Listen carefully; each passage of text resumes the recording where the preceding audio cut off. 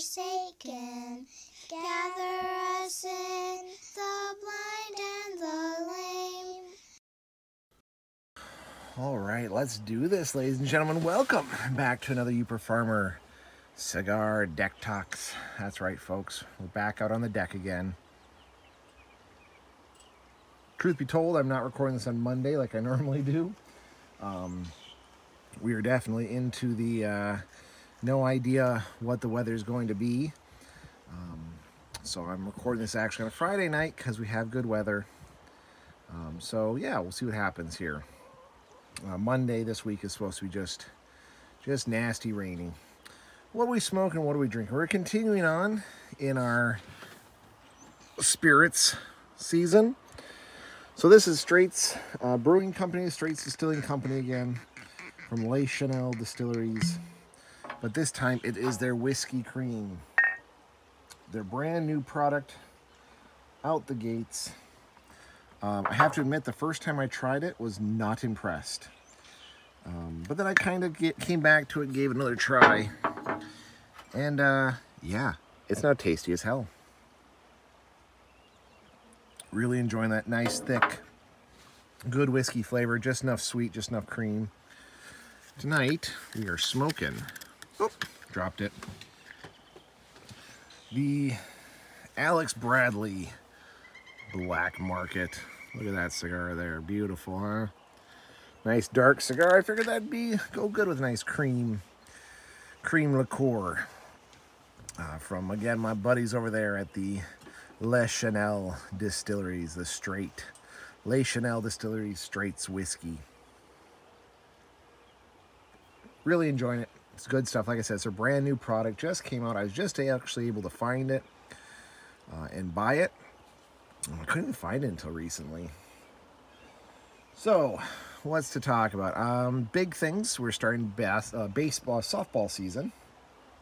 Of course, me and homeschooling mama got uh, called up to coach. I'm having a lot of fun with it. Um, quite a few of the parents are, uh, or most of the parents are really, really nice. Um, not as as tough of a time when we did coach pitch uh, baseball. Uh, we had a lot of really obnoxious adults, shall we say.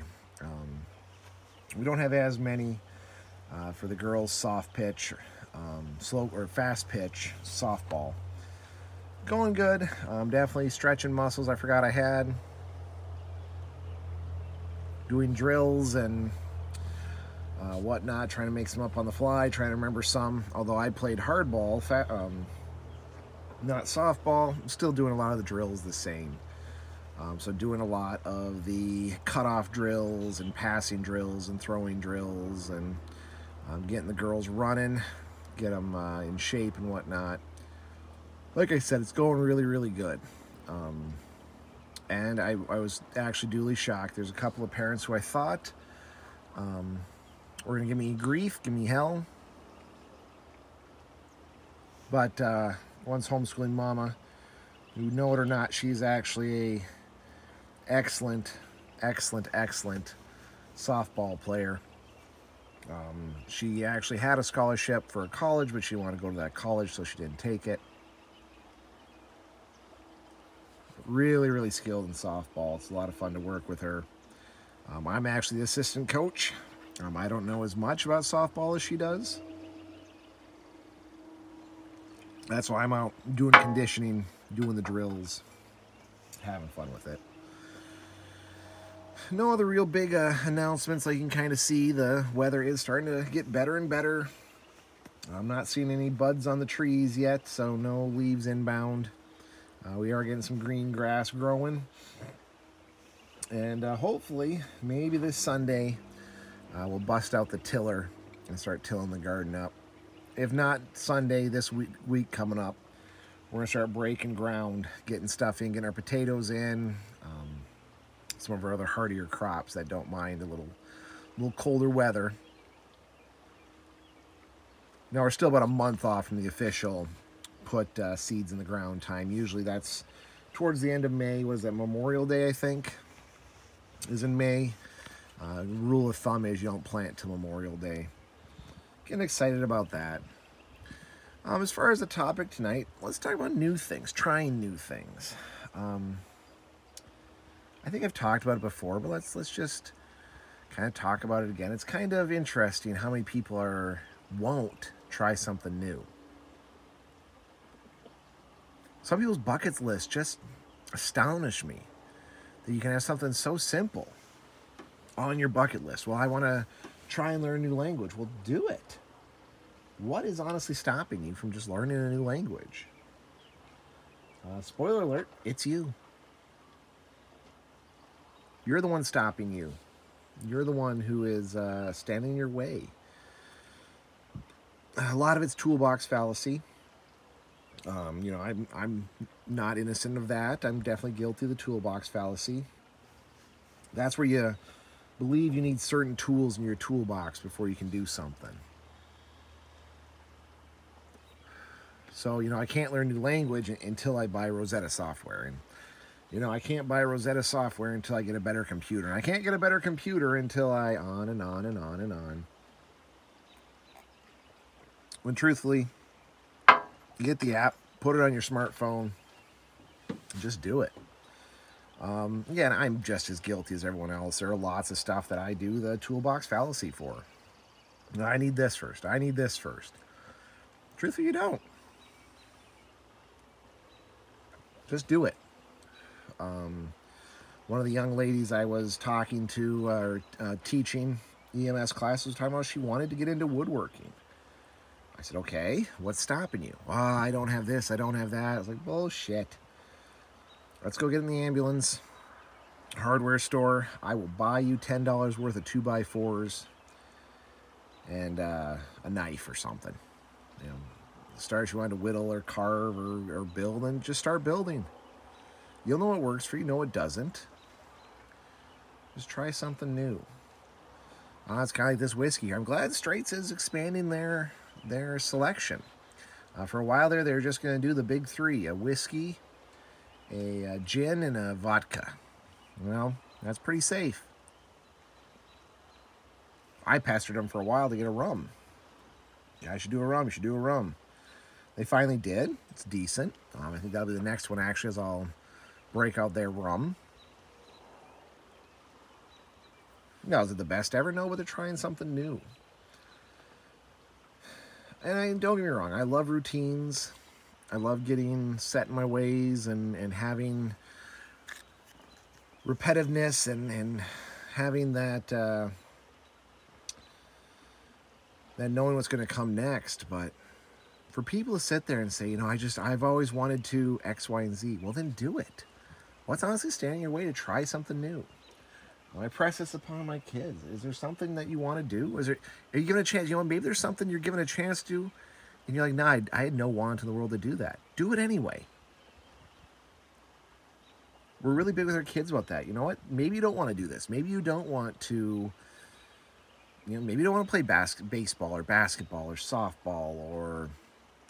You know, maybe you don't want to necessarily become a uh, a nun. But you know what? Try it. Learn about it. Um, our one daughter did. She went to a little retreat about being a nun. She came back. She said, yep, still don't want to do it. but I'm glad I tried something new. I'm glad I tried out their routines and got a deeper insight. Um, you know, a couple of our kids like, well, you know, I don't, I don't want to try doing whatever. Um, just try it. You know what? Yeah, you'll probably hate it. No doubt. But there's one thing I, I can't deal with is I can't deal with regret. Regret I didn't do something, didn't try something I had the opportunity. Um, it's why I've learned about a lot of different things. Um, people at work are always like, how do you know so much about so many different topics? And again, I don't know a ton. I'm not an expert by any means, but I listen. I try, you know, if, if some new opportunity comes out, I usually try it. As the shirt says, I smoke cigars and know things.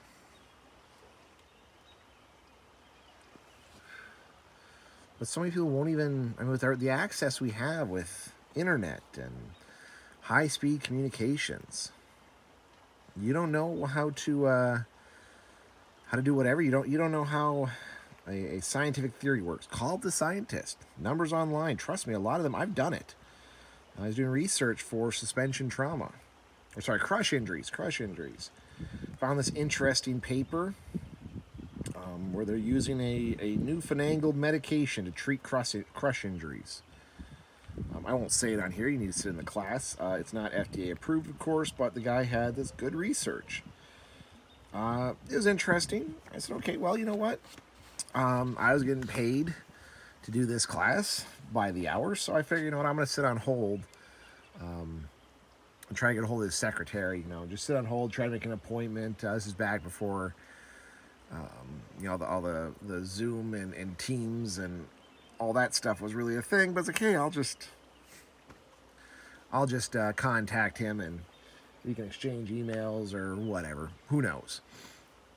Call him up, tell him what my presentation is about, tell him where I'm doing it, set tell him I've heard about his research.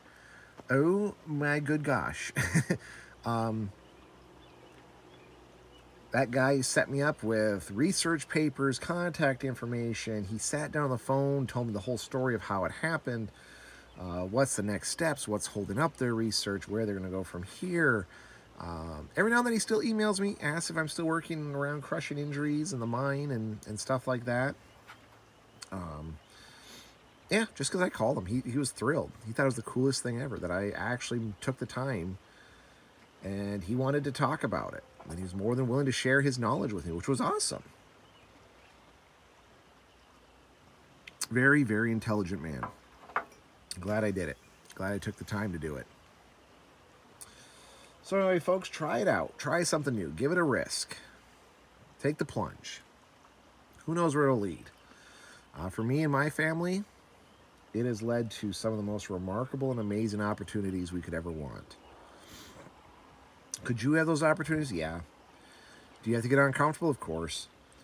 Do you have to do things that you never thought you'd do before? Absolutely. Is it going to be scary? Some of the scariest things you've ever experienced in your life. Is it going to be epic with a cool story? Hell yeah. So anyway, folks, get out there, try something new, put it on the line, say yes, but stay safe out there. And we'll see you on the next one.